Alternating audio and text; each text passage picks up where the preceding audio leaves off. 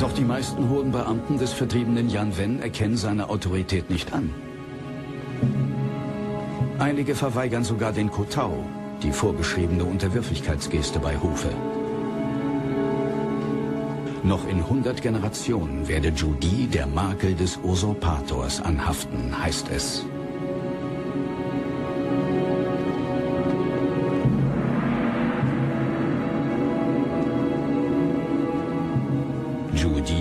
Dessen offizieller Name nun Jung Le, immerwährende Freude lautet, begegnet offenem Widerstand. Der ranghöchste Beamte, der die Regierungserklärung vorbereiten sollte, verursacht einen Eklat.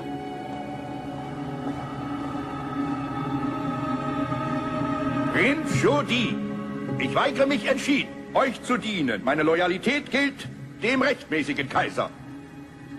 Er hat das Mandat des Himmels nach den Prinzipien unserer Ahnen. Mit dem Putsch haben sie gegen diese ewigen Prinzipien verstoßen und beschwören Verderben und Chaos herauf. Als Kenner der Gesetze und der Ordnung weißt du bestimmt, welchen Verbrechens du dich schuldig machst. Und somit auch, welche Strafe dich erwartet. Als Ratgeber des rechtmäßigen Kaisers bestand mein Verbrechen darin, ihm nicht rechtzeitig geraten zu haben, euch zu vernichten.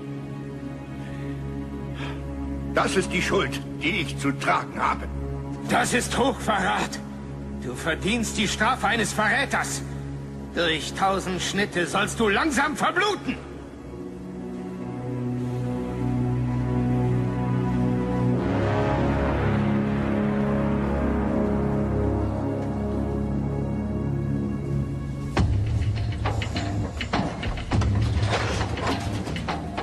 Der Beamte bleibt nicht der Einzige, der seine Prinzipientreue mit dem Leben bezahlen muss.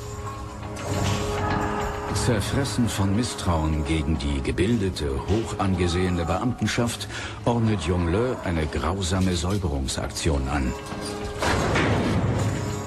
Nicht nur loyale Beamte fallen der Gewalt zum Opfer. Jongleu nimmt sogar ihre Familien in Sippenhaft.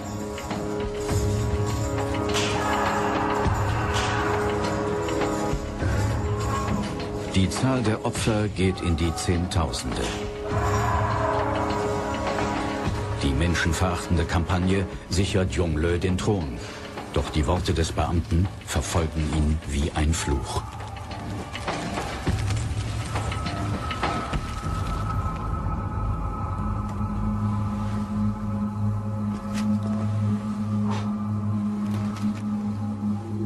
Trotz seiner militärischen Erziehung teilt Jongleu die traditionellen Werte der chinesischen Beamten.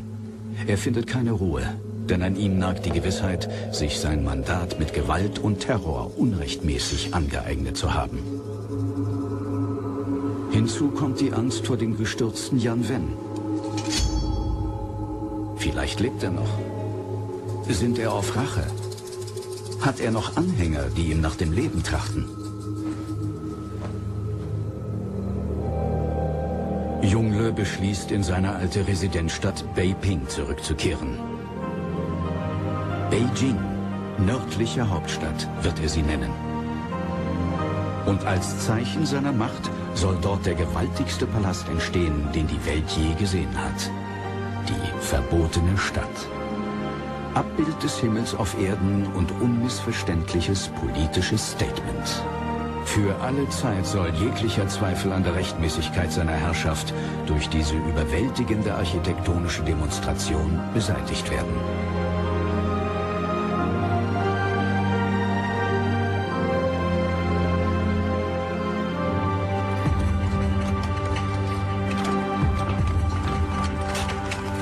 Jungle verliert keine Zeit.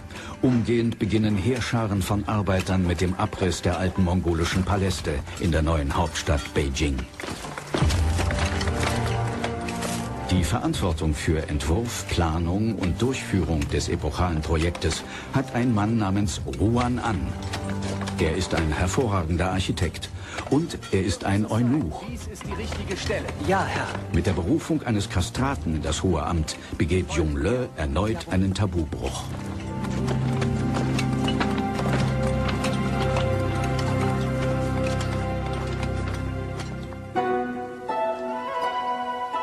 Denn Junglös Vater hat noch wenige Jahre zuvor den Ausschluss der Eunuchen von allen Staatsämtern verfügt und die Verwaltung des Reiches in die Hände der gelehrten Beamten gelegt. Doch Jongleu misstraut den Beamten. Er braucht die Eunuchen als seine loyalen Verwalter. Er umgibt sich mit einem Hofstaat aus Kastraten, die jeden seiner Befehle bedingungslos ausführen.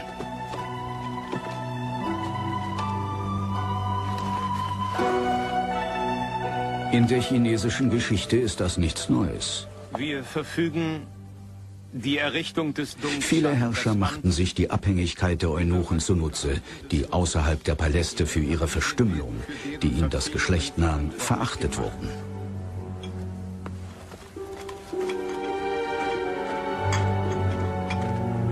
Meist wurden sie als Diener bei Hofe und als Wächter über die kaiserlichen Konkubinen eingesetzt.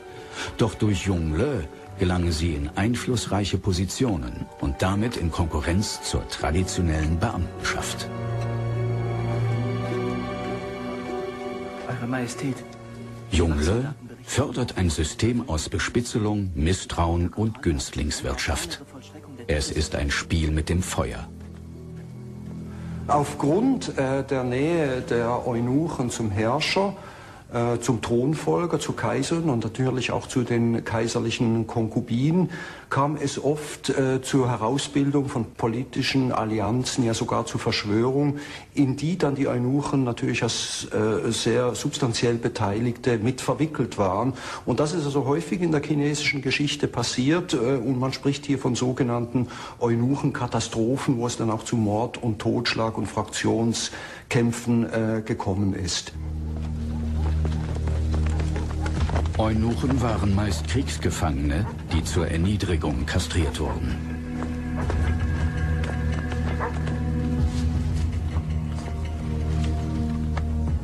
Die Kastration war eine historische Konstante in der chinesischen Kultur.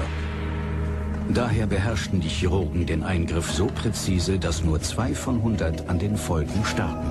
Auf Mitleid konnten Kastraten nicht hoffen. Du stinkst wie ein Eunuch, spottete der Volksmund.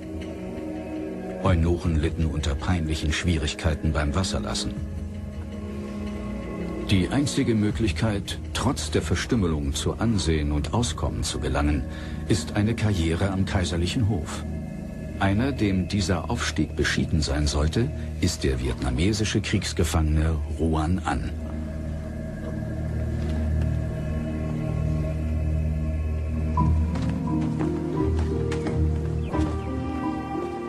Die Berufung zum Baumeister der verbotenen Stadt ist für Ruan An die Chance seines Lebens und zugleich eine kaum zu bewältigende Herausforderung. Zwar unterstehen ihm die herausragendsten Experten auf dem Gebiet der klassischen chinesischen Architektur, doch es geht nicht um den Bau eines prächtigen Palastes, es geht um das Abbild der himmlischen Ordnung auf Erden.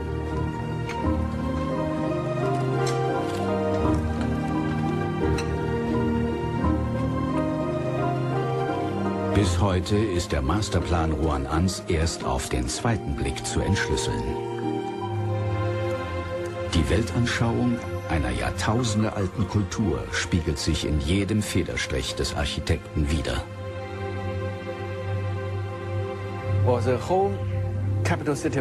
Die Hauptstadt Beijing besteht aus einer Reihe von Rechtecken. Das innerste Rechteck ist die verbotene Stadt. Dann folgt die Kaiserstadt, umschlossen von der Stadt Beijing. Diese Form reflektiert die traditionelle chinesische Vorstellung, wonach die Erde viereckig ist und der Himmel rund.